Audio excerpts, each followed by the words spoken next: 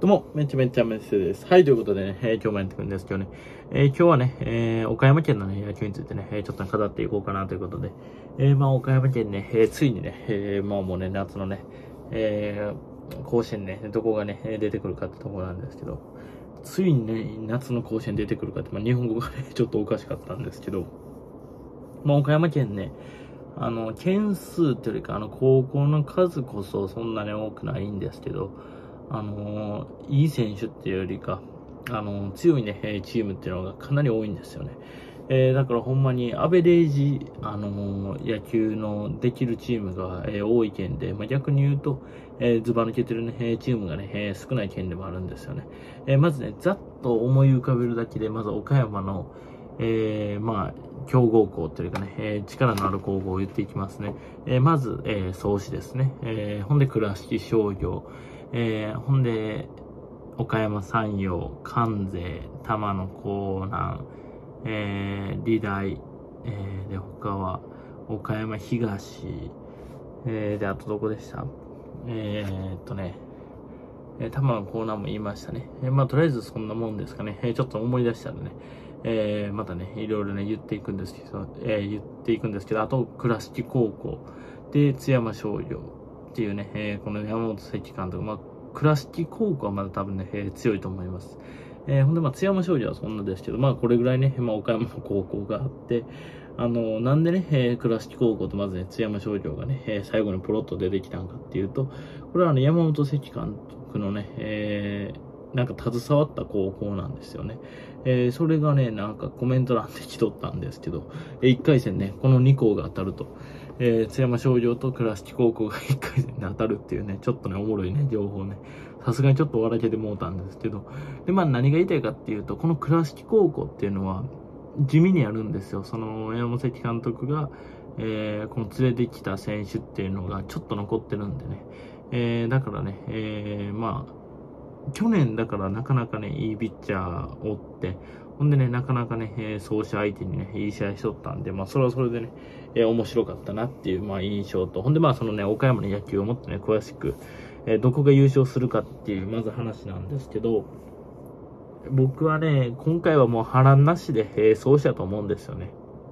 はい。えー、でね、えー、まあ、そこにね、えー、なんでね、他のチームはね、勝てないのかっていう話をね、えちょっと具体的にすると、えまずね、えこの創始を一番倒せる確率がある高校っていうのは、えー、岡山山陽やと思うんですよ、今年に関しては。えー、この146ホルね、ピッチャーの子がおって、ほんで、まあ、この子がどれぐらいね、えー、創始相手に抑えられるかっていうね、えー、ところなんですよ。だからこの創始、えー、7、え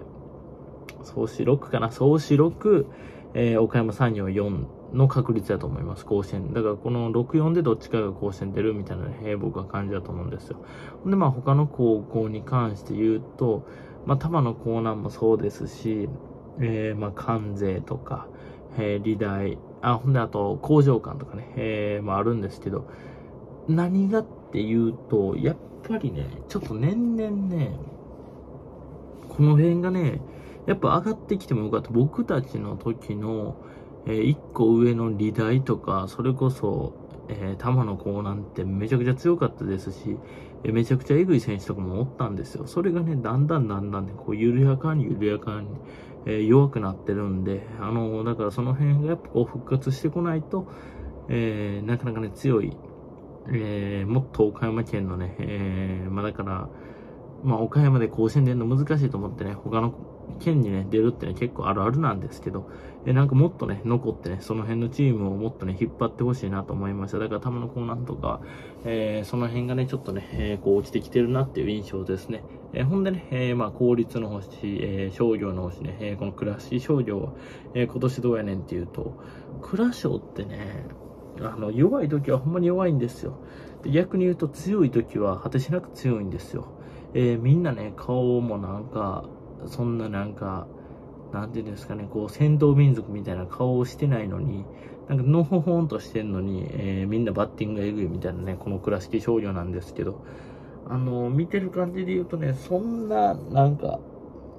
そういう威圧感みたいなのがね、倉敷少女は、えー、今年に関してはないですよね。なんか前とか、それこそ、えー、僕たちの2つ下の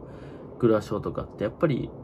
ね、あの神宮出た時って、そんなこう、破棄的なんはないんですけど、なんか打球がエグかったり、なんか変な威圧感があったんですよ。それがね、だんだんなくなってきてるんで、だからそういう意味ではね、ちょっとほんまに、あの、倉敷商業も、えー、今年に関してはちょっとダメかなと。え、だからまあ、創始の、あの、左の子をね、えー、関東出身の、えー、左の子を、やっぱ岡山山陽が、えー、打ち崩せるかっていうだけの僕はね、あの、岡山の野球はそう結局ね、なっていきそうな感じがしますよね。だからまあ逆に言えばなんですけど、ここでね、あんまり名前の聞いたことない、あのチームが、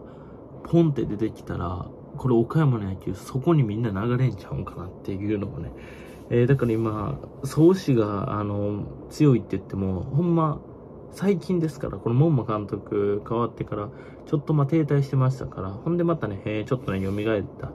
まあ、だけって言い方おかしいんですけど、まあ、ちょっとね、蘇った感じで、えー、もうやっぱ創志強いとはね、まだならないじゃないですか。ほんで、この状況に、ポンってね、一個ね、え、出てきたら、めちゃくちゃね、え、そこがね、強くなると思うんで、え、だから、なんかこの夏、低反発バットで、やっぱりその、同じようにはいかないと思うんでね、春と。だからその、夏はね、どこがね、出てくるかっていうのがね、非常に楽しみかなと。まあ、普通にいけばこれね、創始の、えー、ピッチャー陣を他のチームが打ち崩すことっていうのは僕は厳しいと思うんですよ。で、もし打ち崩すとか、えー、倒す確率があるんやったら、この岡山山陽の、まあ、打線と、この146キロのね、えー、ピッチャーで、えー、こう追い詰めるってよりか、えー、やっていったら、なんとかね、勝てるんかなってね、僕は思いました。ほんまにね、あの、高校野球ってね、まあ、何があるかわからんとか、まあ、言いつつ、もう大体ね、えー、勝敗っていうのは、まあ、ある程度ね、予想できとって、ほんで、その中でね、えー、やっぱり番狂わせみたいなんで、えー、こう、ピッチャーはまってしまうとかね、えそういうのがあるんで、だからそういうのをこう含めると、やっぱり、この創始のね、確率、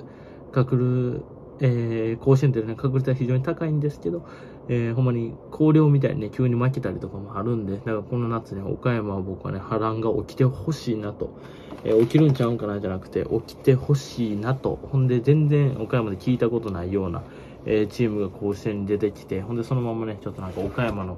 え今こう、なんかはっきりせえへんね、えー、勢力争いをね、え、終わらせてほしいなと。思いました。まあ、岡山のこれ順調にいくと、まあ、少しがね、え、甲子園出るのかなと。思いました。はい、ということで皆さんが思う、えー、岡山県の野球をね、えー、ぜひコメント欄によろしくお願いします。それでは皆さん、お次の動画で会いましょう。お疲れ。